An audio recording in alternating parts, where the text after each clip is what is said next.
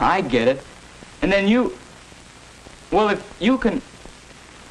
Say, Mr. Wiley, did I ever tell you about my twin brother?